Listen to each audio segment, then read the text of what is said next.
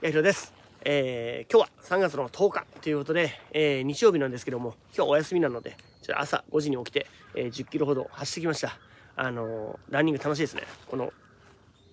これですね。えっ、と、なんだっけ。ズーム、ん？ Zoom Fly 5かな？はい。このカーボンプレートのズーム X の、あの、シューズで、あの、走ってました。めちゃくちゃ楽しい。うわちょはい。めちゃくちゃ楽しい。で、えっ、と、まあ、その帰り、帰りというか、走り終わってからちょっとクールダウンで歩きながら、えっ、ー、と、 Voicy の更新をしたので、はい、あの、お前に言われる筋合いはねえよみたいな、はい、あの、そんな話をしましたので、えー、気になる方はぜひ聞いていただければ。じゃあですね、えっと、ちょコメント読みをしていくんですけど、その前に、あのー、そう、なんかコメント、読めてないコメントが結構あったみたいで、ちょっとそこを先に拾っとこうかなと思ったので、えー、そのコメント読んだ後に新しいコメント読んでいこうかなと思います。あそういうこと、あの、最初に申したのはアンチキ系のあの動画のコメントですけども、え、っと、佐藤軍曹さんから、アンチコメントと感じるかどうかと、久留米オープン準々決勝などを見て、えー、私が感じたこと、えー、無駄に長いのでかん、えー、かんな注意。結局コメントする人がどのようなテニスをしたいかによって排除したい人が過激なアンチ、え、受け取る方として意見を言っているだけのつもりがアンチ扱いされることも多いと思っています。私もアンチに入るかも。うん、えっと、あ、佐藤君さは入んないかな。まあ僕的には。はい。ヤヒロテニス、えー、過去久保田テニス系の攻めのパターンとしては、早いタイミングの打球で決める、過去チャンスボールを引き出す、だと思っています。えー、当然、相手より安定して返すのは前提です。その度合い、過去判断は個人差があるのは当然で、エロコジはディフェンシブ側に私より寄っています。えー、そこをもっと早いタイミングでもっと速い球と言われるのでしょう。足も攻めたい。実は体力がない。えー、戦術、戦略をあまり教えるのは他のコーチに任せて、えー、それを実現する技術を教えているのか、えー、ここだと思っています。そうですね。あの、技術的なことは、あの、僕は言いますけど、戦い方はですね、攻め、攻めたいなら攻めればっていう感じです。はい。まあ、そこの度合いはね、あの、違いますけども。えっと、えっと、どこだっけ？あ、ここ、んうん、あ、そうですね。細かなコツを、えー、教えているサイトはありますが、全体の流れを作るテイクバックまでの動きを、えー、最重要視しているところは、えー、少ない気がしています。え思ったインパクトの形を作るまでの動作。えこのサイトのいいところ。え継続的に生徒、かっこお客様に違和感、あ、お客様に違和感か、の、え成長動画を上げている。え優等生だけじゃないので、やる気が出る。そうですね、あの、そう、お客様をね、こう、なんていうの、うん、まあ、コーチの人でも、こうすると絶対いいって言ってるけど、まあ、自分ができてるかどうかももちろんそうなんですけど、お客様ができてるかどうかってすごい大事ですよね。あの、お客様を見せずに、まあ、お客様、もちろんその見られたくないお客様もいると思うんで、その方はもちろん上げてない。あの、めちゃくちゃうまくできてる、あの、テニス歴1年未満のお客様もいますけど、あの、上げたことない。まあ、それは、そのお客様が、あの、YouTuber は、ちょっと厳しいからってことで、上げてないだけで、上げてなくてめちゃくちゃ上手い人もいるし、あの、そうね、あ、お客様をね、ちょっと、お客様あんまできてないけどなみたいなこともよくあるので、はい。で、テイクバック完了、えー、過去2の動作のタイミングを早くする意識を植え付ける。早い準備ですね。体の使い方の長所短所を説明している。えー、見てほしい人、えー、初心者、えー、怪我、かっこ故障持ち、え、40代、40歳以上、えー、最近試合にで勝てなくなった人、えー、思考の転換が必要。素晴らしいですね。短所、過去私にとって、えー、毎日朝晩情報が入ってくるので、見ただけで上達しあ上達した気になること。私の意識不足と練習時間が取れないわがままの理由。これだけ書いたので、明日から自分の意識と行動が変わってほしい。えー、追い込まれないと動かないわしいってことで コメントいきました。はい。まあ、佐藤君さんね、あの、X とかもあのコメントいただいて、あの、すごい嬉しいですね。そうね、まあ、あの、まあ、例えばそういうこと、竹ルームとかこういうやつは 壁打ちをしながら 壁打ちをしながら、あの、まあ、ワイヤレスイヤホンかなんかつけてこう、弾きながらこう、なんていうかな、あの、壁打ちするみたいな、どうでしょうか。はい。そしたら、あの、やっぱね、運動しながら情報を得るのが一番頭に入ると思うんで、まあ、僕はそれこそランニング好きなのはですね、ランニングをしながらずっと、あの、オーディオブックって言って、あの、まあ、僕本読むの好きなんですけど、あの、本読むってこう、その本を読むのに集中しないといけないので、えっと、それだとね、なんか時間がもったいない感じがして、隙間時間で本読むんだけど、あの、しっかり学びたいときは、ランニングをしながら、1時間、今、こう1時間ぐらい走ってきて、1時間走りながらずっとオーディオブックを聞けば、あの、なんで、体をこう動かしながら、かつ、あの、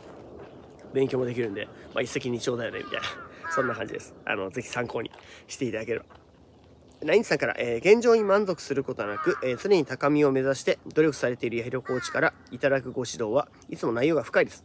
80歳代でもできる、えー、楽で美しいテニスという、えコーチのテーマを伝授すべく YouTube では、え起死鮮明で取り組みやすいように、え工夫されていると思います。実際のレッスンでは、え場面想定や予測される心理状態にまで踏み込んで指導いただき、エロコーチの知識の広さと深さ、えそれを伝授しようとする表現力の豊かさには感じ感じるところがあります。テニスを通してずっと年下のコーチから学ぶことはとても多く、いつもありがたく感謝しておりますので、あの、もうなんかもう素晴らしすぎて、あの、申し訳ない 申し訳ないっていうか、あの、僕はね、あの、まあ、ナイツさんほどね、ちょっと深い思考は、ちょっとまだ持ってないと思うんですけども、まあ、そのね、ナイツさんから、まあ、そういう言葉を、あの、いただけるのは、あの、嬉しく思うので、えー、あります。これからもよろしくお願いします。で、あと1件、宮頭さんのコメントがあったんですよね。どこだっけな。うーんと、あ、じゃあその前に、コンドラトブスキさん、えー、全国大会福岡県予選、予選1回戦の、ま、初プレイステージクラシックのこの、このラケットで出たよっていう試合のコメントで、えー、ビデオありがとう。難しい試合、え、非常に滑りやすい路面なので、えー、足の、足、あ、足とつま先を使うには慎重な準備が必要です。えゲームシーズンの始まりは、アマチュアが自宅でゲーム数を数える準備をするのに役立ちます。心からということで。なんかこうリンク貼っていただいてますけども、ちょっとまだ見てないんですけども、えっ、ー、と、今気づきましたね。ちょっと時間があれば見たいんだけど、ちょっとって言いながらいつも忘れるんですよ。あの、いつもコメントであります。えー、っとね、ちょっと待ってよ。あれ？宮頭さんのコメントどこだったかな？宮頭さんコメ、あ、ちょっと待って。あ、違うか。あれ？あ、違う、これ新しいやつか。あれ？ちょっと待って。宮頭さんコメントはどこにあったっけな？あの、あったあった。えっと、タケルームの3月7日のコメントですね。えー、実は僕のも点々点ってことで、えー、やひろコーチいつも有益な発信ありがとうございます。 Voicy、スタエフを含め、えー、なんとかほぼ全て追いついております。ただ追いつくの必死でなかなかコメントできず、はい、申し訳ありません。あの、皆様はそうですけど、あの、全部あの、ついてこなくてもいいですからね。あの、なんか暇だなと思った時に、あ、そういや、やひろ Voicy 発信してるかなと思って見たら、あ、やっぱこ今日もやってんね、みたいな。そんな感じで、あの、暇あれば見て、あの、聞いていただければ。1、さて質問させてください。えー、今回の左足の様子は理解でき、かつ実践できそうなんですが、えー、ちょっと待って、これなんだっけ？ああ、これですね。えっと、おとといのライブ配信でおっしゃっていた、えー、右足のかかとに体重を乗せるのはどうも苦手です。右足の外側に体重が流れてしまう感覚のですが、えー、何かいい解決策はありますか？ん？ちょっとよ。えー、っと、右足のかかとに体重を乗せる。ああ、そうですね。えっと、それはですね、まあ、まずですね、ちょっとこの、この時に説明してたオープンスタンスは、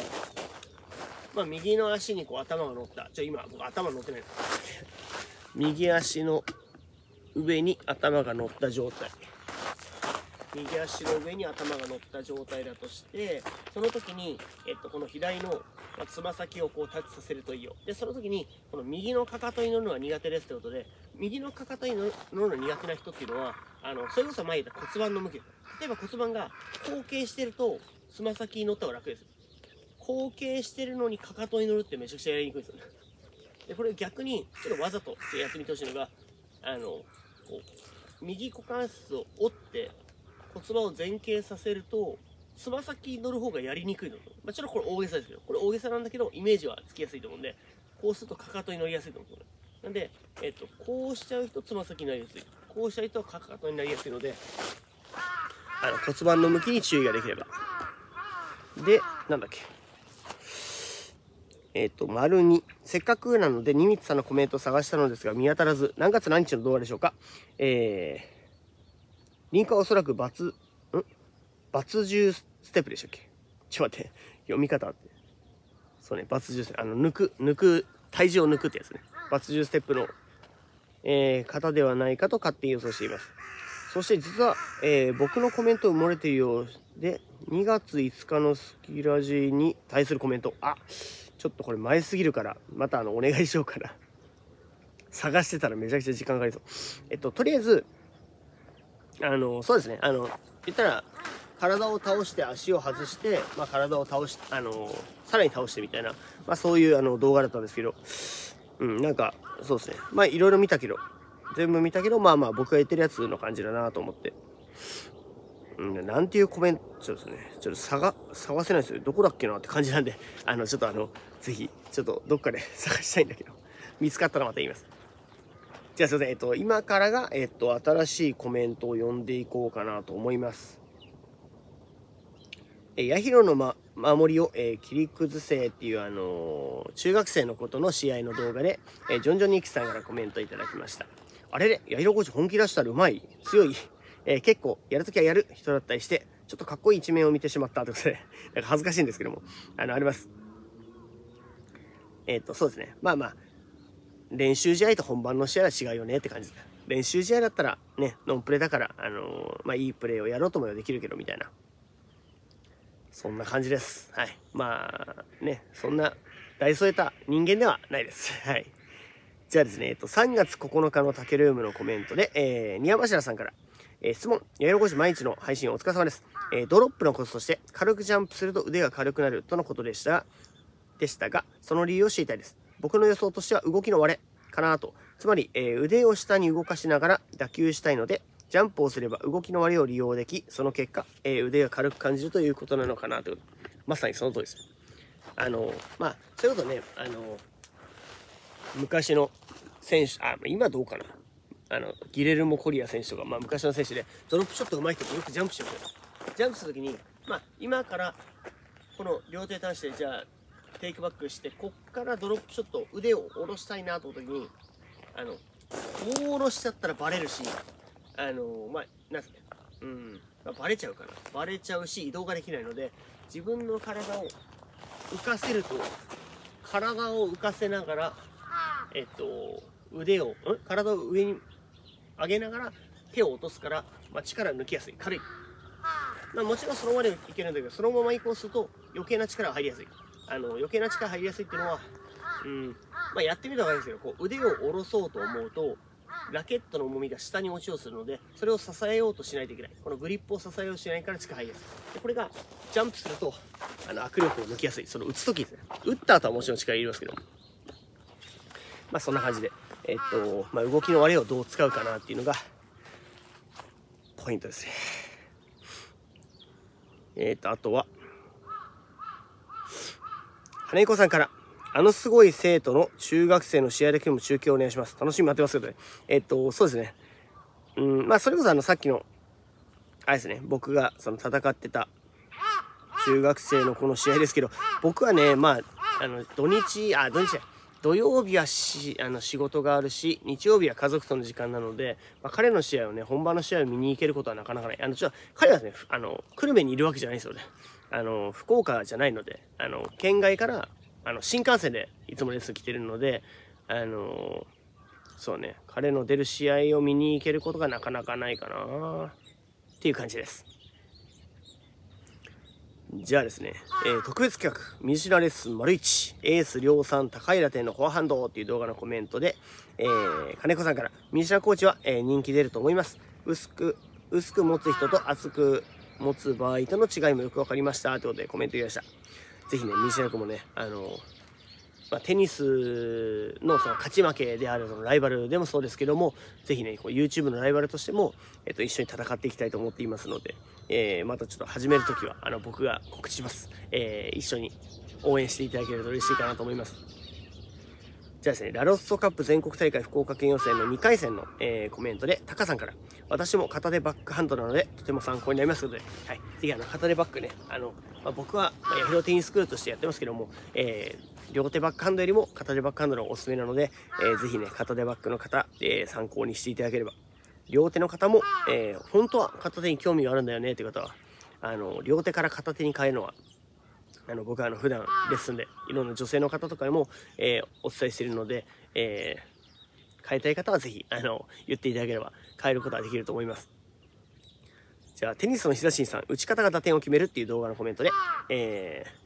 ゆかぴーさんから打ち割りの後の、えー、無限的な、えー、ラケットの動きも習得されていて、えー、上手い人の打ち割りになっていて素晴らしいです。これですね。この後の、これですね。こう終わりとかいうわけではなく、この流れ。打ち終わった後のすぐ次の構えに持っていくまでの流れっていうのもすごい大事なので、まあ、これ過去動画にも説明しましたが、えー、そこも膝審査には、えー、最初に伝えましたね。そこら辺、あのその戻り方、あの戻り方というか、打ち終わった後の元に戻り方か、話をしました。えー、ぜひ参考に。私,、え、私もいつかこんな風にヒロコーチとラリーができる日が